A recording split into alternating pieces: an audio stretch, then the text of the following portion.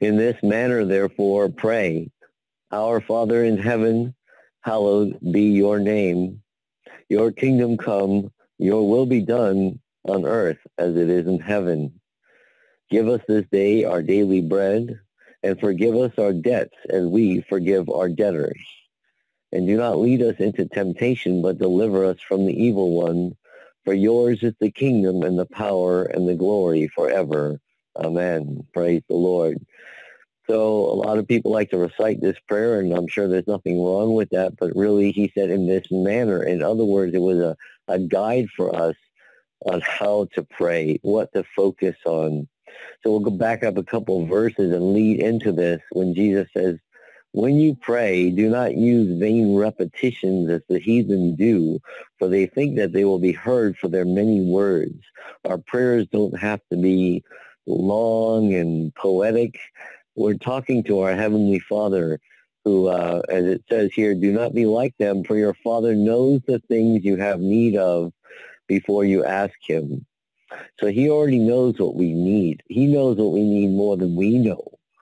And so, therefore, in this manner, in this way, how we approach God when we pray, we first recognize that he deserves to be hallowed, which means to give him all reverence for who he is, to respect him and to understand who really who it is we're talking to is to have that honor and respect and reverence for him when we come to him.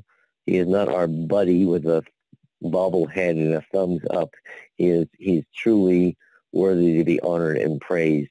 If we ever came before him and saw him, there is no way we would be treat him that way. Uh, we would definitely be be in awe of his presence, and so we can re- remember that. But notice the first and most important part of this prayer is right here. Your kingdom come because that's what we all want, but it is your will be done on earth as it is in heaven. If we pray for God's will, our lives will be blessed beyond measure. If we come to him with what we think we need, we're just, um, it's a hit or miss situation. But when we want God's will, his will is perfect he knows exactly what is best for each and every one of us. He would never steer us wrong. He would never give us anything that would draw us away from himself. And so if there's anything, if you have nothing else to pray, if, no matter what, your will be done is the answer to all of our prayers. He loves us. He wants to bless us. He wants everything to be good for us. And we want his will. That's what Jesus said. I come to do my Father's will. And we're to follow him and do the same. Give us this day our daily bread is not just about, even though it is about provision physically, but it's also to feed us spiritually so that we continue to grow and walk with him. Forgive us our debts. The, our debts are our sins and everything else, and help us forgive the people who uh, owe us because they've hurt us or they said something or they've done something, and we need to forgive just like we want him to forgive us. And obviously he doesn't lead us into temptation, but he delivers us from the evil one.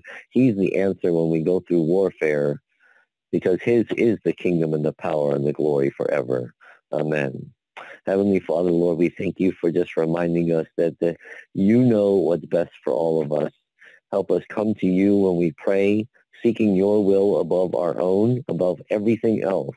Our ego, our pride thinks we know what's best for us, help us be low and just seek your will and know that you who created us want to bless us and you have our best interest in mind. Help us forsake what we think and just seek you and follow you and walk with you. We thank you for this reminder today. We give you all glory and honor and praises in the name of Jesus Christ. Amen.